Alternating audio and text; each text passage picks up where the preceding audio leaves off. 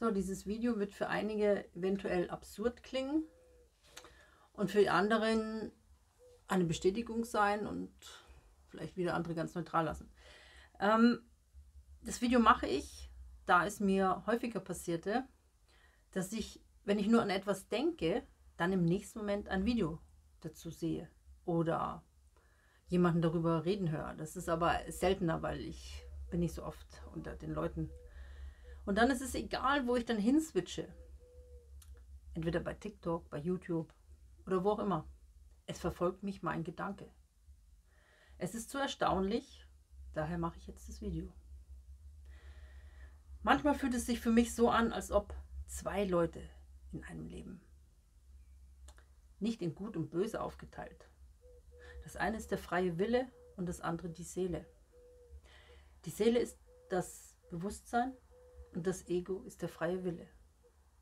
Doch du hast recht, es ist auch irgendwie wie gut und böse. Deine oder auch meine oder unsere Aufgabe ist es, die beiden zu vereinigen, sodass sie miteinander agieren. Wie du es im Außen siehst, ist es aus dem Gleichgewicht geraten. Es hat nur mit dir zu tun oder mit mir, dazu später mehr. Wenn du Eingaben bekommst, dass du, und das Wort liegt auf du, dass du der Auserwählte bist, dann bedenke, dass du auch alle anderen bist. Ja, es gibt nur dich. Das ist erstmal schwer zu glauben, doch höre her. Du bist die anderen und die anderen sind du. Wie du bist, das erfährst du durch die anderen. Natürlich haben die Menschen auch die Lust, das Böse auszuprobieren, weil wir sind in der Dualität. Daher kam das Chaos. Doch wir helfen uns gegenseitig. Nun, es gibt die Synchronizitäten. Was gedacht wird, erscheint. Daher denke an das, was du erschaffen willst. Du siehst die Welt so, wie du sie sehen willst. Du erschaffst und das kommt dann in dein Leben. Wenn du etwas ablehnst, lehnen es andere auch ab. Wenn du eine positive Einstellung hast, begegnen dir Leute mit ebenfalls positiver Einstellung. Wenn du wütend bist, begegnen dir andere, die wütend sind. Wenn du das Leben liebst, dann begegnen dir andere, die das Leben lieben. Wenn du mutig bist, dann, du weißt jetzt. Anziehung oder Abstoßen, wie Magnete. Das Kollektiv bist du. Und doch sind es die anderen. Du bist alles. Wenn du Ausreden findest, dann willst du es nicht wahrhaben, wer du bist. Dann übe noch. Wenn du verstehst, dass du alles bist, na, was bist du dann? Dann bist du die Schöpfung selbst. Du bist so genial, dass du alles erschaffen hast und weiterhin alles erschaffen kannst, bis ins kleinste Detail. Nur du selbst bist dein Hindernis. Das Hindernis, was ich meine, du verlässt dich auf Meinung anderer, Du verlässt dich darauf, dass andere für dich handeln. Du verlässt dich darauf, dass andere dein Leben leben. Du bist jedoch alleine dein Schöpfer. Das ist gemeint, wenn du Eingebungen bekommst, dass du der Auserwählte bist. Dann fragst du dich, wie soll ich das alleine schaffen? Du bist nicht alleine und doch bist du es. Wir sind alle der Auserwählte, jeder in seiner Art. Es wird von der Gegenseite auch so dargestellt, dass der Antichrist kommt. Damit sollen wir meinen, dass wir nur einen anbeten sollen. Bete dich an. Du bist es. Und doch sind es die anderen auch. Wir sind es, dieses entsprechende Bewusstsein dafür haben. Natürlich sollten wir uns zusammenbringen, doch es funktioniert auch in Gedanken, durch Telepathie. Es muss geschult werden. Lache und alle anderen lachen mit. Denke an den Sieg und alle anderen denken auch daran. Es ist sehr wichtig, was das Kollektiv denkt. Wenn du allerdings stets denkst, was die anderen machen, dann hältst du dich damit auf. Jeder hat seine Programmierung und handelt danach. Die Gewissheit macht es aus, dass es so kommt. Du bist Regisseur und Schauspieler zugleich. Natürlich danken wir auch den ganzen Nebendarstellern, den NPCs. Sie machen das Spiel spannend, auch wenn sie ab und an zu viel sind. Doch wenn du verstehst, dass du alle bist, dann wartest du nicht, dann machst du einfach, was du für richtig hältst, ohne daran zu denken, was würde der andere machen oder denken, was würde der andere sagen und so weiter. Ich weiß, es ist sehr komplex zu verstehen mit all dem Leid und dem Krieg da draußen. Die anderen sind du und damit es spannender wird auf der Erde, haben alle ein eigenes Bewusstsein, das mit dir verbunden ist. Du steuerst die anderen und die anderen steuern dich zugleich. Daher, daher verstehe jetzt, alles, was du denkst, siehst und tust in deiner Umgebung, ist dein Leben, wie du es dir vorstellst. Du siehst nie alles im Leben. Du siehst nur das, wo du dich gerade bewusst aufhältst. Du hörst es von anderen, du bekommst Bilder, Nachrichten von anderen Orten, Menschen. Daher weißt du, was noch so alles existiert.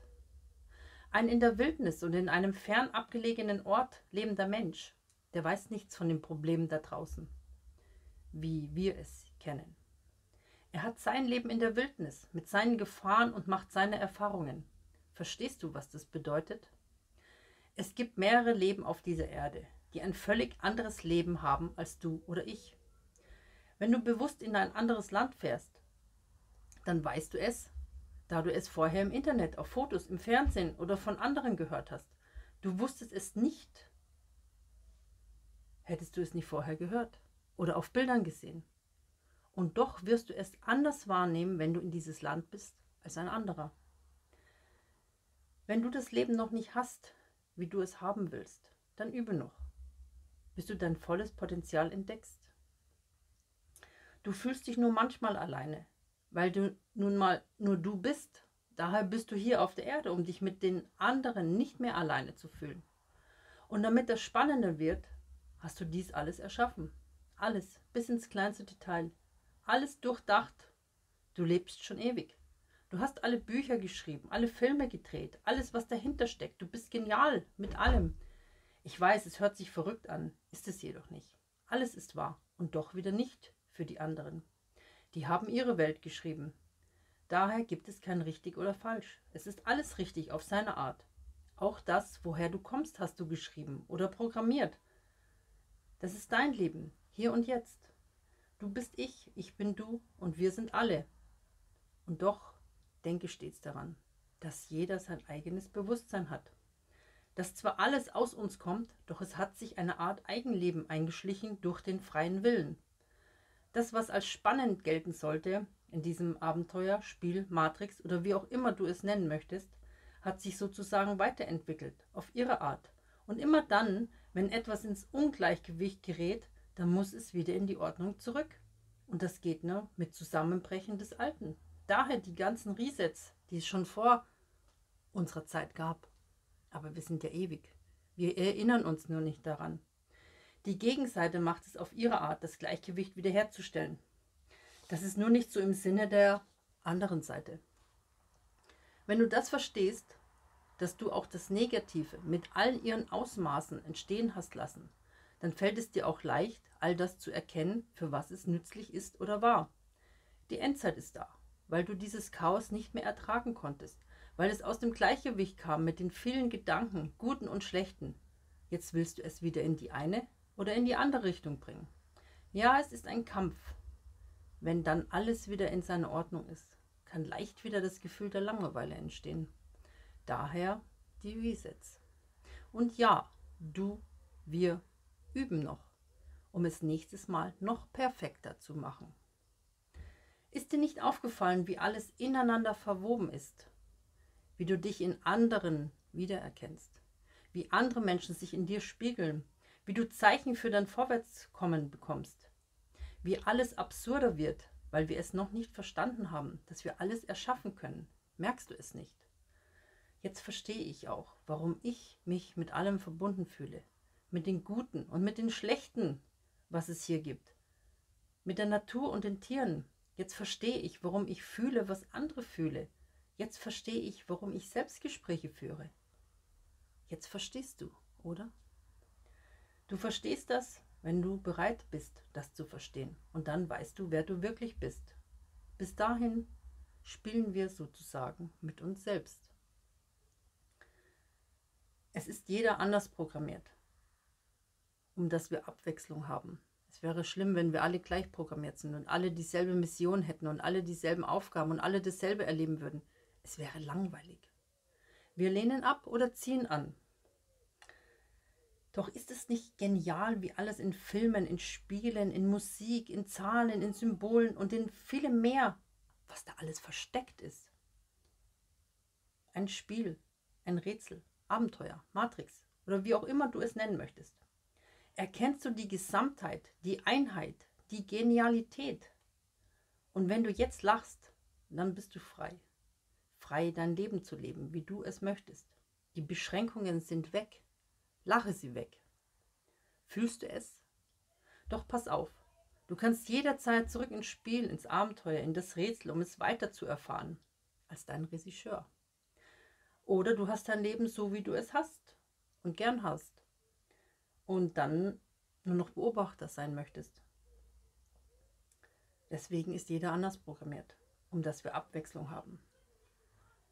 Wir sind elektromagnetische Wesen, Einheiten in einem menschlichen Körper, in Verbundenheit mit allen.